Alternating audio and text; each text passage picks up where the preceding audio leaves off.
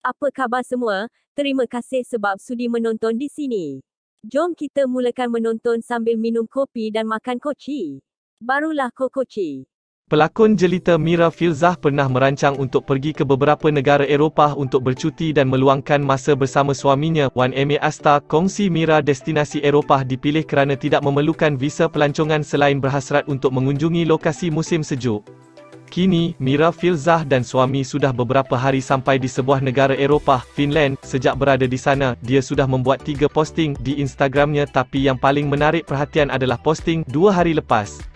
Rata-rata peminat tertarik pada salji yang jatuh di bahagian bulu matanya yang menambahkan lagi kecantikan dan kecomelan Mira Filzah. Ramai juga peminat yang berhasrat untuk bercuti di sana juga. Hantarannya itu telah meraih 145,000 tanda suka dan lebih 300 komen daripada peminat dan rakan artis bertunang dengan Wan Emir Asta Wan Muhammad Airil Anwar, anak kepada pasangan ahli politik Mastura Muhammad Yazid dan Wan Muhammad Airil Anwar Wan Ahmad pada 16 Julai 2020. Beliau dan Wan Emir melangsungkan pernikahan pernikahan pada 3 September 2020 di Bukit Kiara, Kuala Lumpur.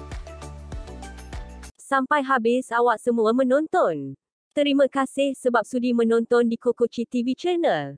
Semoga yang memberi sokongan kepada kami, kami doakan semua mendapat rezeki yang melimpah ruah. Jangan lupa jika nak sebarang bekerjasama, ada email kami di bawah tu. Sampai di sini sahaja dulu. Tengok-tengok juga video yang lain. Sekian terima kasih.